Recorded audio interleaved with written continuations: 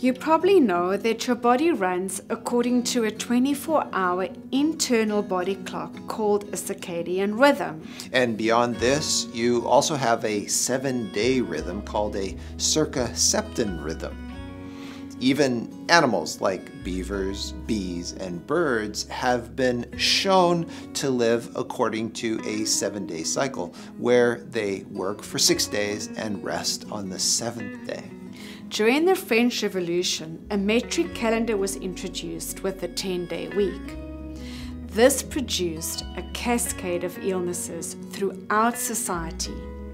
Mental institutions filled up to capacity, workers' efficiency went way down, and crime rates even increased. After 12 years, they had to abandon the revolution's 10 day week and go back to the biblical seven day week.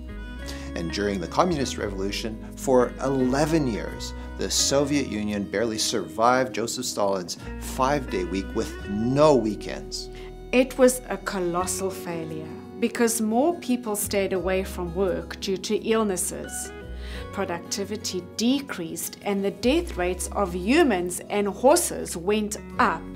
We now know that not only humans and animals, but diverse species from unicellular sea algae to plants, insects to fish live according to a six day work, one day rest week pattern, which speaks to how the Bible says we originated from a common designer who lovingly wanted all creatures to rest for one day out of seven.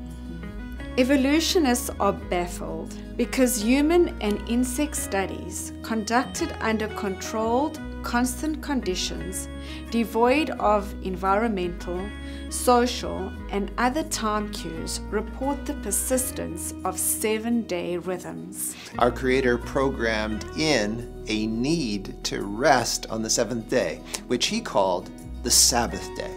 So, this seven day cycle is not cultural but biological. It's the way God designed you to live. Jesus said, The Sabbath was made for man, meaning God made the seventh day of the week holy and commanded all mankind to rest because he loves us. See how God always wants the best for you. In the Bible, Deuteronomy chapter 6, verse 24, Moses explains, And the Lord commanded us to do all these statutes for our good always, that he might preserve us alive as we are this day.